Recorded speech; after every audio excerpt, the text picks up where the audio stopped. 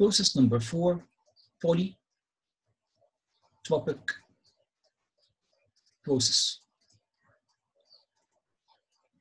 PV to the power n equal to constant. طيب أنا عايز أعرف ال work boundary أو قبل ما أعرف ال work boundary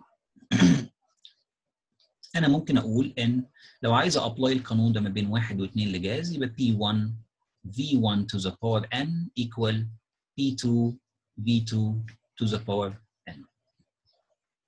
ده اللي بقول اللي أنا ممكن أعمل له apply علشان أقدر أطلع مثلا لو معايا P1 و V1 ومعايا مثلا V2 أقدر أطلع ال P2 أو لو معاك ال P1 وال V1 وال P2 وال V2 أقدر أطلع ال N ال exponent اللي هو بتاع ال process لكن مهم عندي جدا إن أنا أعرف إيه هو ال work boundary due to ال polytropic process هي عبارة عن integration of PDV طيب أنا من هنا محتاج اطلع ان ال pressure هو عباره عن constant divided by V to the power n يبقى أنا أقدر replace ال pressure with constant divided by V to the power n في dV الكلام دوت هيساوي constant يطلع بره integration V to the power minus n في ال dV يعني الكلام دوت ال constant زي ما هو integration of. ال integration of V minus n طيب من V minus n أزود عليها واحد وأقسم على ال power الجديد. يبقى ده ال integration بتاعي من واحد لاثنين نهندل المعادلة شوية. يبقى أنا عندي ال constant bracket V واحد minus n divided by واحد minus n طيب سؤال إيه هو ال constant بالنسبة لي؟ ال constant بالنسبة لي هو عبارة عن PV to the power n. constant ممكن يكون P1 V1 to the power n ممكن يكون P2 V2 to the power n.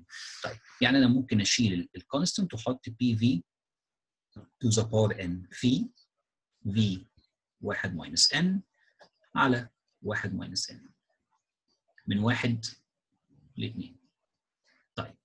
إيه رايكم لو أنا كتبت P1 V1 to the power n أفتح bracket هاخد اللي فوق الأول يبقى V2 خلينا نقول 2 الأول 1 minus n.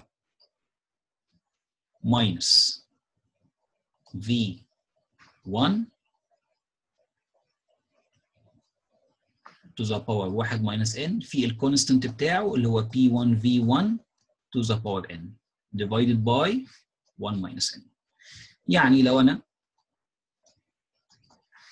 ضربت بقى ال P2 مفيش حاجة زيها خلاص تنزل P2 لكن لو ضربت ال V2 to the power n V2 1 minus n إيه اللي هيتبقى يا جماعة؟ هيتبقى ال V2 بس minus V1 1 minus n في V1 to the power n. لما آجي أضرب بجمع الباورز فلما أجمع ال power ال n مع ال n يتبقى ال V1 بس. يبقى هي عبارة عن P1 في V1 divided by 1 to the power 1 minus n.